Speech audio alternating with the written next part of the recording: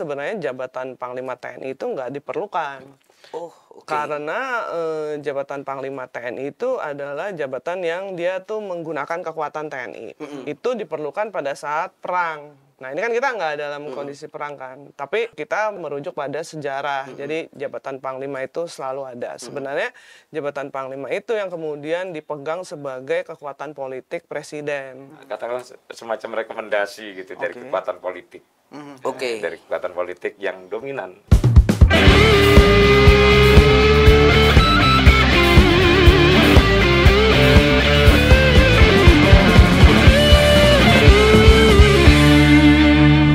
sahabat Kupas.com ketemu lagi bersama Tatang Guritno dan saya. Ramadan. Dan kita ketemu lagi di Gaspol ngobrol ngegas pasti nampol. Ya.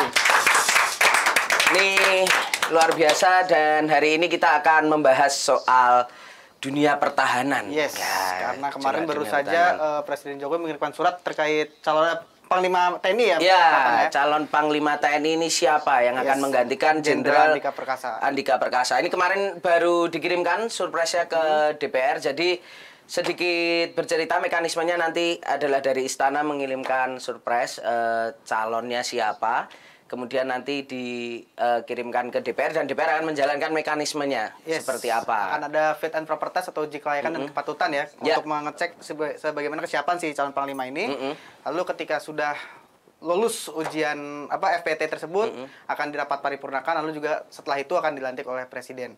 Ya, Nah, benar. untuk membahas eh, ini semua kita mungkin akan sudah menghadirkan dua narasumber. Ya. Yang pertama ada Pak Hairul Fahmi. Selamat pagi, Pak. selamat pagi Ya, Pak Fahmi ini merupakan eh, peneliti ya dari Institute of Strategic and Security Studies (ISES). Lalu sebelah sini ada juga Mbak Etna yang merupakan eh, wartawan senior harian Kompas yang lama menggeluti isu pertahanan dan militer lah ya. Iya. Iya, betul, Gitu. betul. Jadi semenara aku masih Mbak Etna yang paling ngerti ini. soal pertahanan ini pokoknya Mbak Etna. Iya, iya, Ini yang iya. paling paham, mantap sekali.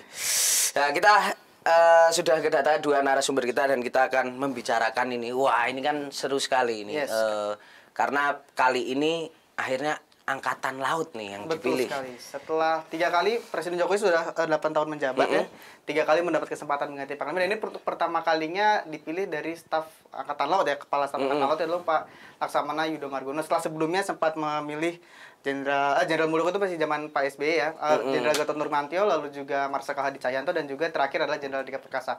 Mungkin kita langsung bertanya-tanya saja ke Pak Fahmi nih. Pak, ini setelah sekian lama akhirnya eh, KSAL yang ditunjuk sebagai panglima gitu. Karena sebelum era Pak Jokowi juga tercatat baru dua ya yang menjadi panglima. Ini melihatnya seperti apa? Apakah memang eh, sudah seharusnya seorang Kasal yang ditunjuk sebagai panglima atau bagaimana nih Pak?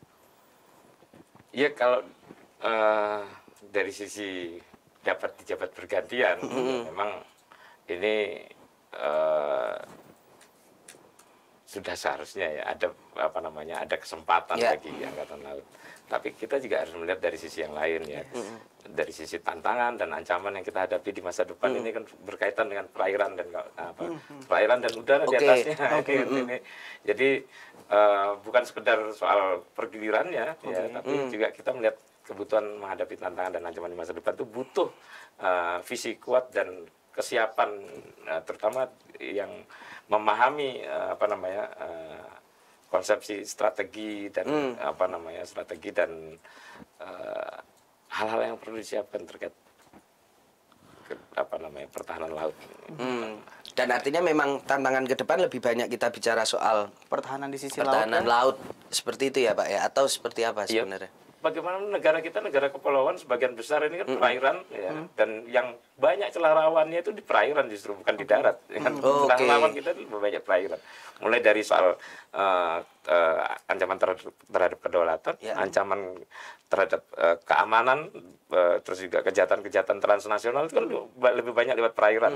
Kan itu sehingga ya penting upaya-upaya yang, eh, untuk memperkuat benteng laut kita ini gitu. Hmm. Apakah artinya dengan pemilihan Kasal sebagai calon panglima ini memberikan semacam modal ya untuk memperba- memperkuat sisi itu atau gimana tuh Pak?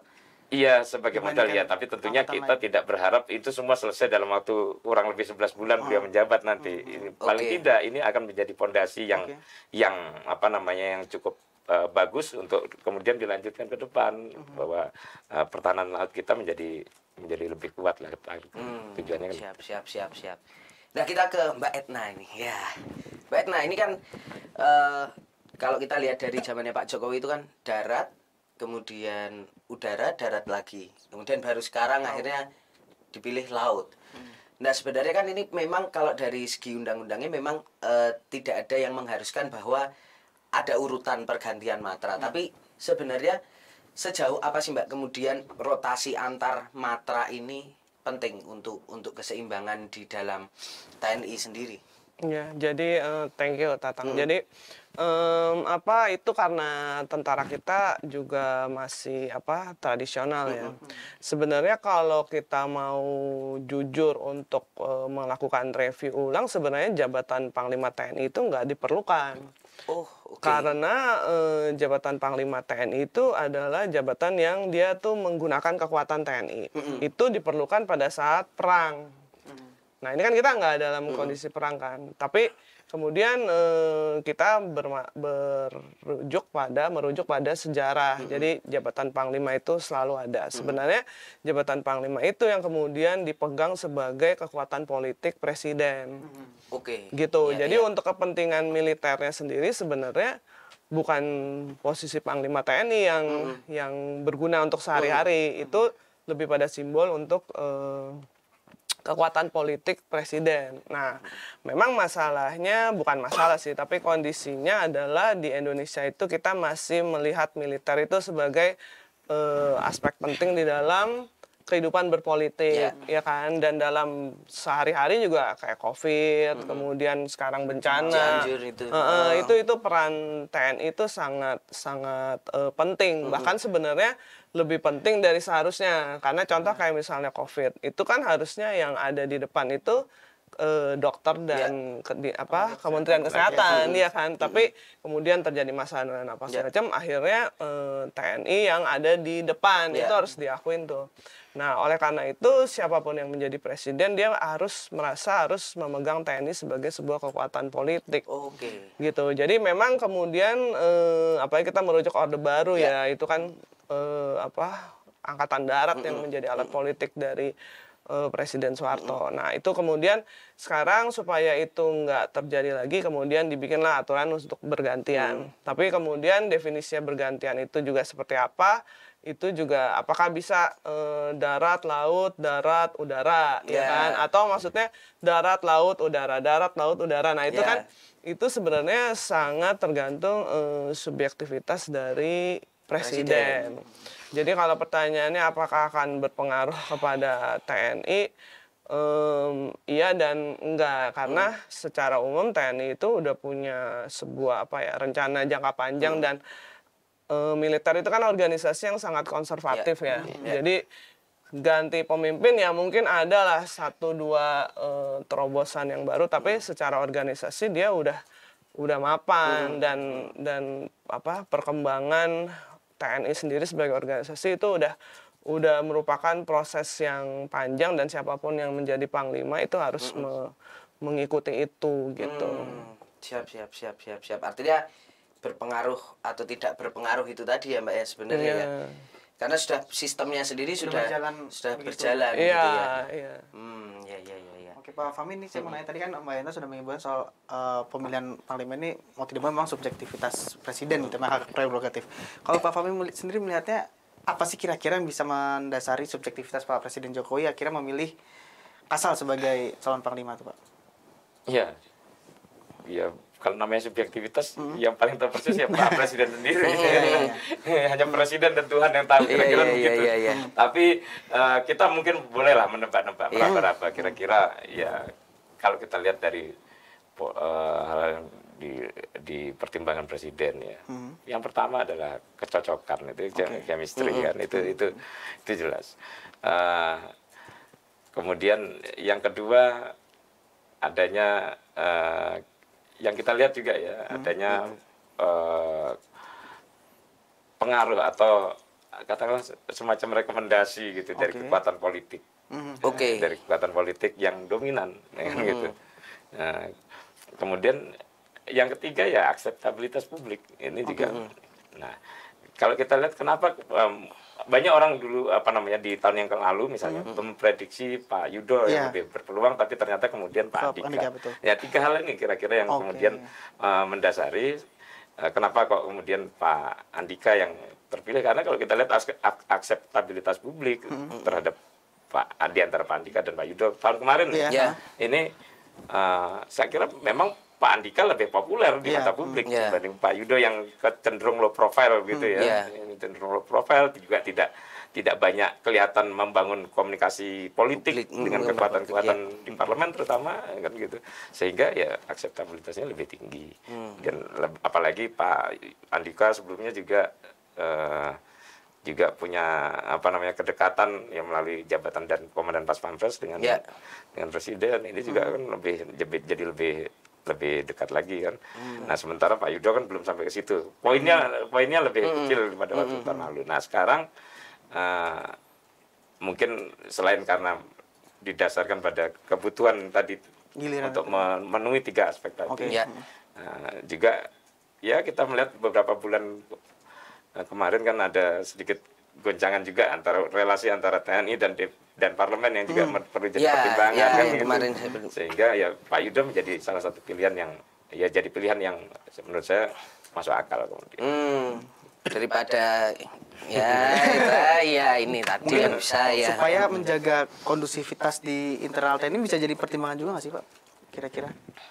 menjadi kondusif menjadi saya kira kalau soal kondusif TNI itu ya sudah terbiasa lah ya apa namanya dengan dengan dinamika ya. mau ada ada ada pimpinan hanya sah, menjabat satu satu hari pak pernah ada tapi kan nggak pernah ada masalah. Artinya soal soal loyalitas soal soal ke- eh, apa kemudian kepatuhan itu nggak akan nggak akan anu lah, nggak akan terganggu. Walaupun di bawah permukaan ya namanya Ya. eh, ketidakcocokan personal atau eh, friksi-friksi itu pasti ada tapi sejauh ini kita melihat tidak menggak sampai mengganggu kinerja organisasi Oh, termasuk kalau kita lihat isu disharmoni yang kemarin yang antara misalnya Kasat ya yang disebutkan antara Kasat dan Panglima itu kan eh, sebenarnya juga enggak enggak berpengaruh signifikan ya paling cuman kelihatan enggak ada apa namanya Nggak enggak gitu. lengkap Nggak foto lengkap, bareng enggak, ya. enggak jarang gitu aja Ya. gitu. tapi selebihnya kan agenda-agenda organisasi berjalan semua Oke. Hmm, ya ya ya ya ya. Menarik juga itu ya. Bagaimana Pak Yudo ini muncul. Nah, Mbak Etna kalau menurut Mbak Etna sendiri apa yang mendasari sebenarnya Pak Jokowi akhirnya memilih eh, Pak Yudo hari ini dan kasal gitu ya. Artinya kan sebenarnya kalau kita bicara soal tantangan kemaritiman itu kita sebagai negara kepulauan kan justru laut ini Vital, jadi ya? sesuatu yang vital gitu. Tapi kan pada dasarnya angkatan darat dominan sekali. Mungkin karena tinggalan zaman Soeharto juga dan lain sebagainya. Tapi kenapa angkatan laut itu kemudian berarti kalau ini nanti Pak Yudo jadi artinya kita baru punya tiga berarti Mbak sepanjang sejarah. Apa yang membuat tuh minim gitu loh Mbak pemilihan ke angkatan laut gitu? Dan kenapa akhirnya baru sekarang Pak Jokowi memilih Pak Yudo Eh, karena itu tadi kita masih melihat TNI itu bukan cuma sebagai alat pertahanan ya, tapi lebih ke alat stabilitas politik. Nah, kalau kita mau ngomong stabilitas politik yang punya teritorial Ya. dan secara kultural dan his- histori itu bisa meng apa menggalang lah istilahnya tentara tuh ya. Ap- tapi kalau istilah sipil mungkin dekat dengan masyarakat itu ya angkatan darat. Kemudian kalau kemudian merujuk sejarahnya Pak Jokowi itu kenapa waktu itu menunjuk Pak Gatot? Karena eh, waktu itu ada kepentingan em, apa ketahanan pangan. Jadi waktu itu Oh, Pak oke. Gatot itu sangat me- menunjukkan dirinya makanya waktu itu ada istilah serbuan teritorial Ya. jadi waktu Pak Gatot Kasat dia tuh sangat menunjukkan dirinya oh saya bisa diandalkan nih untuk agenda agenda ketahanan Ketahanan pangan, pangan. ya kan yang mana itu sebenarnya bukan agenda pertahanan Iya. itu bisa-bisanya Pak Gatot lah Iya. untuk kemudian punya apa agenda yang inline dengan Pak Jokowi kemudian habis itu habis Pak Gatot Pak Hadi ya kita tahu bahwa Pak Hadi dan Pak Jokowi punya kedekatan Iya. personal ketika Pak Jokowi wali kota di Solo Nah kemudian habis itu harapannya kan waktu itu kemudian oh ini angkatan laut nih Ya. ya kan apalagi Jokowi di awal itu selalu mendengung-dengungkan poros maritim dunia. ya yang mana realitanya juga sebenarnya nggak terlalu kelihatan. Iya.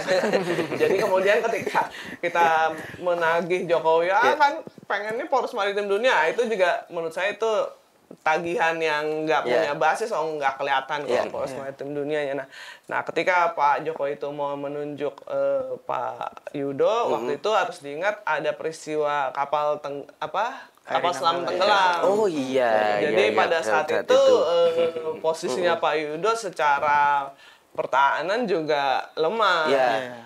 Eh, secara organisasi dan secara apa pun juga Kasal yang bertanggung jawab waktu itu. Iya. Karena ini ada waktu itu tenggelamnya dalam latihan. Nah kan aneh kalau waktu itu Pak Yudo diangkat jadi Iya. panglima TNI ya kan Iya. harusnya malah kalau di luar negeri harusnya dia mengundurkan diri gitu Iya, kan. Atau disuruh mengundurkan diri gitu. Nah, jadi nah sementara pada saat itu ada Pak Andika, Pak Andika yang secara kualitas oke ya kan. Waktu itu dia udah menunjukkan performa dengan mengadakan Garuda Shield Iya. dan secara backingan politik juga ada dengan eh, apa harus diakui pada pengaruh eh, mertuanya Iya. ya kan. Jadi ya siapa pun yang jadi presidennya menurut saya akan mengangkat Pak Andika pada saat itu ya kan. Nah kemudian sekarang Pak Andika udah pensiun.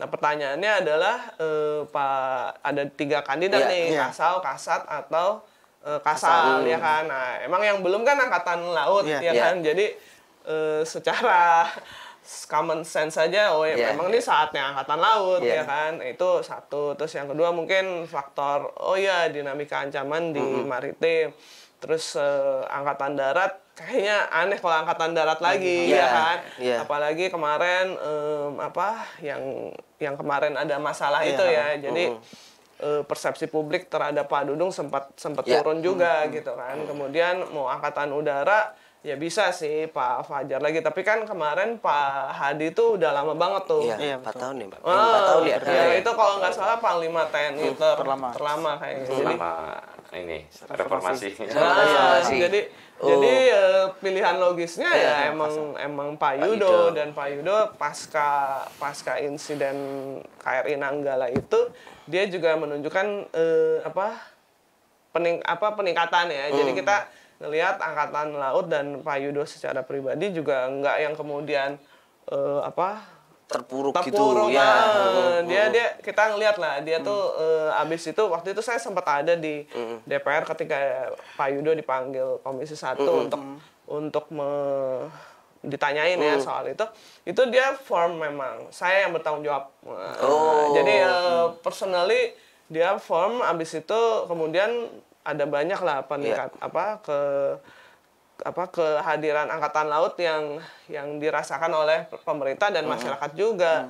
Nah kemudian yang menarik memang hubungan Pak Yudo dengan Pak Andika relatif lebih baik kayaknya dengan daripada Pak Andika dengan Pak Dudung. Iya, iya, iya. Jadi akhirnya jadi sering muncul ya kan iya. kayak Garuda Shield Iya. yang yang eksis itu angkatan laut Iya, yang iya. muncul sama Pak Andika tuh angkatan eh eh, apa Pak Yudo ya kan. Jadi make sense aja ketika Pak Jokowi pasti akan nanya sama Pak Andika juga kan. Siapa ini? Ah, menurut Panglima TNI siapa nih? Ya kan itu kan eh, proses organisasi Iya. biasa ya kan.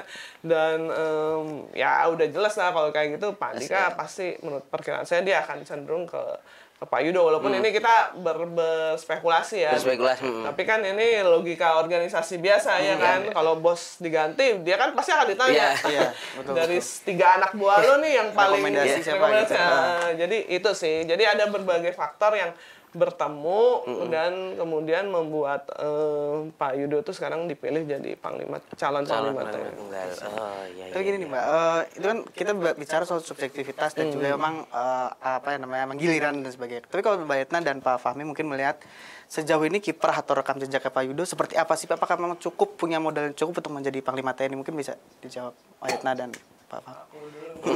Jadi emang kalau kita ngomong orang selevel kepala staf itu eh, sebagus-bagusnya atau sejelek-jeleknya ya dia yang terbaik untuk matra itu ya pada saat ini. Jadi memang Pak Yudo eh, dengan segala ke kekurangan dan kelebihannya ya emang udah memenuhi syarat. Maksud aku agak susah juga ya karena gini eh, tugasnya kepala staf dengan tugasnya panglima TNI itu jauh berbeda sebenarnya. Jadi kepala staf itu untuk pembinaan ke dalam, Iya. Oke. panglima TNI itu untuk menggunakan. Oke. Nah, jadi nanti kalau Pak Yudo jadi panglima TNI, misalnya ada kita akan ngelihat bagaimana dia menyelesaikan masalah OPM di Papua. Iya. Oke, hmm. Iya kan? Nah, ini kan nggak menjadi tugasnya sekarang kan. Iya. Nah, jadi kita nggak bisa menilai secara Iya. objektif. Cuma kalau kita men- menilai beliau sebagai kepala staf angkatan laut, Hmm. itu ada beberapa terobosan yang sebenarnya dia lakukan secara organisasi. Jadi Hmm.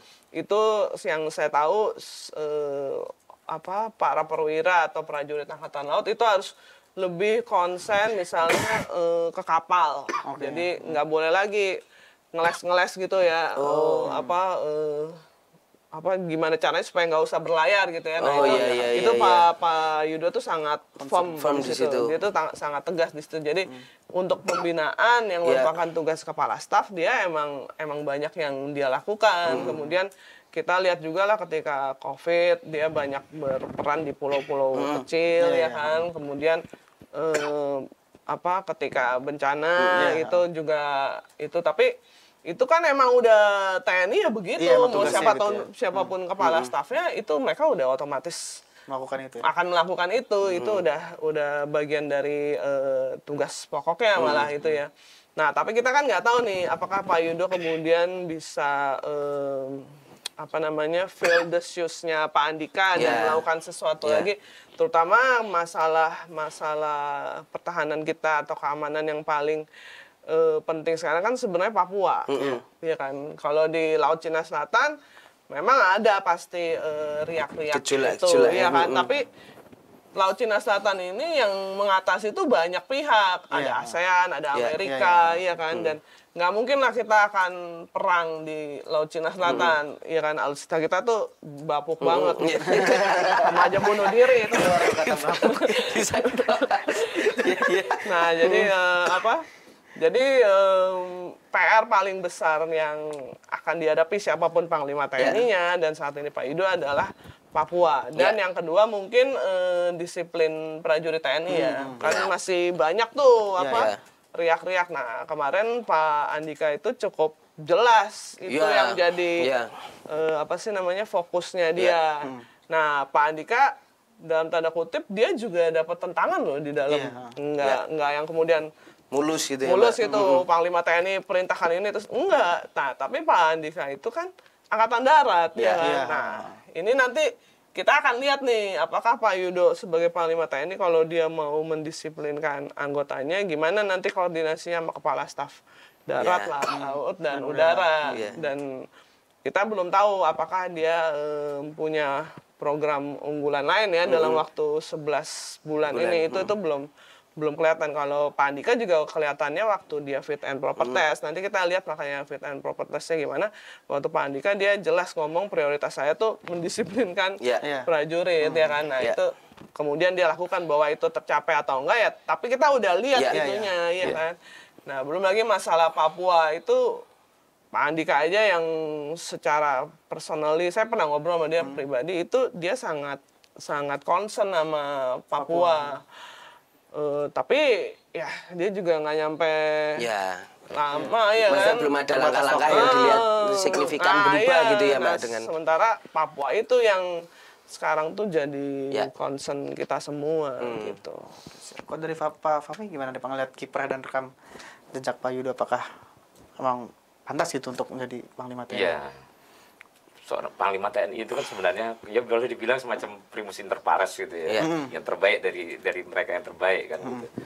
Jadi eh, kepala staf dan panglima ini benar kata Mbak Enen tadi eh, apa namanya? sama-sama bintang 4 nih, Iya. sama-sama bintang 4. Eh, kalau jadi bintang 4 itu kan itu kebanggaan semua prajurit Iya. Ini ke- apa eh, keinginan semua prajurit ngomong kosong nggak ada prajurit yang nggak pingin jadi jenderal bintang Iya, 4 iya, Nah, iya. kesempatan kan hanya satu dan Iya, satu betul. satu periode gitu kan. Jadi eh, kalau sudah jadi bintang 4 terus tujuan berikutnya apa ya? Berikutnya adalah mencapai kebanggaan tiap matra. Tiap Iya. matra bang- akan bangga kalau dari matranya Jadi ada yang jadi panglima Iya. kan gitu.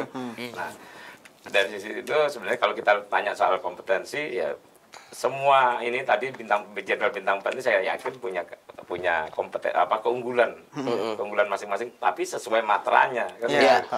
Nah, tentu saja kita tidak bisa ber- perbandingkan apa namanya kompetensinya Pak Andika dengan Pak apa namanya Pak Yudo. Yudo, Yudo. dengan Pak Fajar kan nggak bisa tapi kalau Pak Andika dengan Pak Dudung masih mungkin lah Iya. Iya. kita perbandingkan. Tapi yang jelas eh, saya kira mereka eh, kompeten dan kalau kita lihat rekam jejak Pak Yudo, mere- Pak Yudo ini pernah jadi Panglima Armada, pernah jadi eh, juga Pangkolin Lamil, gitu, ya, Pangkolin Lamil, Panglima Armada, kemudian eh, yang terakhir beliau juga pernah jadi Pangkogapilhan. Pang- apa Kogapilhan ini sebenarnya didesain sebagai miniaturnya Mabes TNI. Iya, kan. betul. Oke, iya, Mereka iya, akan mengelola interoperabilitas iya. mat- Tiga ah, matra. ketiga matra ini interoperabilitas tapi sayangnya kan ini sampai sekarang eh, masih belum apa belum nampak eh, Optimal itu ya. apa namanya belum optimal lah Iya. anunya. masih ada ya anu ya yang eksis lebih dulu itu kan ada kodam-kodam Iya. ada Iya. ada armada-armada ini ini kan Masih butuh waktu Ah. ya ini. Adaptasi. ya ego sektoral itu masih Ego sektoral. masih ya nah. terus juga soal lapak-lapak ini Iya. kan masih apa eh, masih perlu di di tata ulang lah Iya. nah mungkin itu juga akan menjadi saya kira akan menjadi bagian dari concern Pak Yudo ketika nanti menjabat ya.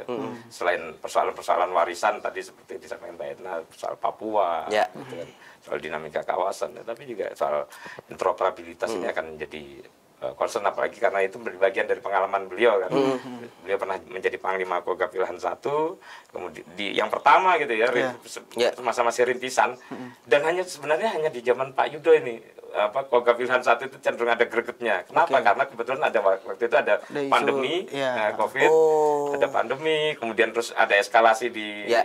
Laut Cina Cina Selatan. Selatan gitu ya. Sehingga ada uh, kelihatan dinamikanya, apa Ya. namanya dinamis pada waktu Pak Yudo menjabat Kogapilhan satu. Momentumnya pas waktu Ya, itu ada beberapa momentum itu. yang ini ya. Beliau uh, pernah membangun rumah sakit uh, darurat Ya. COVID di Pulau Ga- di Pulau Galang, Pulau Galang terus kemudian ngelola apa yang di Wisma Atlet. Ya. gitu kan. Nah, itu kan hal-hal yang apa namanya uh, bisa kita lihat menambah anu lah portofolio beliau untuk Ya. menjadi panglima. Kemudian juga ada terobosan yang terkait ya hal, -hal kecil sebenarnya terkait vaksinasi ya, apa apa namanya uh, dukungan terhadap uh, ke- uh, program vaksi- vaksinasi kok apa uh, Covid. COVID, ya kan. Itu kalau saya lihat ya misalnya hal yang dilakukan angkatan laut ini sebenarnya lebih menarik ya karena uh, kalau misalnya angkatan darat ini dia menyasar uh, apa namanya daerah-daerah yang ya mas sebenarnya itu masih bisa dijangkau Terjangkau, oleh ya. Iya. oleh uh, tangannya pemerintah daerah Iya. gitu kan.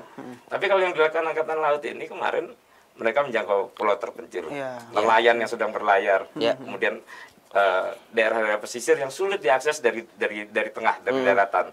Nah itu, ini hal-hal yang yang sangat apa namanya saya kira uh, sangat uh, apa kreatif gitu ya, karena ya mestinya memang kehadiran TNI itu di di, Di di di tengah titik-titik ini, kesulitan itu iya. bukan bukan apa namanya di saat di apa namanya ketika ya kayak misalnya di di perkotaan yang itu dinas Masih bisa kesehatan diakses yang masih ya, oke, daerah yang masih- sudah masih- berjalan. masih bisa jalan gitu kan. Ah, sebenarnya ber- lebih ber, apa kehadiran TNI kan akan jadi lebih bermakna ketika ada kesulitan. Nah, ada kesulitan. Nah, itu saya kira itu yang ah, hal yang kemudian ah, Menarik dari kiprah menarik Pak dari Pak, Yudo. kiprah Pak Yudo ini. Nah, belum apa namanya saya kira ke depan ya apakah eh, beliau akan kelihatan semakin kompeten dan tidak ragu ya kita akan lihat dari visi paparan visi misinya Iya. pada Iya. saat fit and proper test besok kan gitu. Ya, ya, ya, ya, ya. Wah, ini kita semakin panas dan menarik ini perbincangan kita. berani nggak kita di Laut Cina Selatan, ya kan? Atau batasnya semana? Iya. Karena di satu sisi kita itu dalam tanda kutip cukup tergantung ke Cina, mulai dari Iya. vaksin sampai Iya. investasi. Tapi kita juga nggak bisa terlalu Deket ah, nanti Amerika sebel Iya, ya kan? jealous. lah. lupakanlah mau apa namanya ngambil-ngambil nyolong-nyolong dari dari, Dari situ, pemeliharaan iya. dan Iya, iya. perawatan. Kalau dari dari kertas masih merem lah mungkin Iya. ya kita. Tapi kalau dari dari per- apa dari, pemeliharaan Iya, dan iya. perawatan alutsista ini jangan karena ada sekian banyak nyawa yang harus kita uh, lindungi dan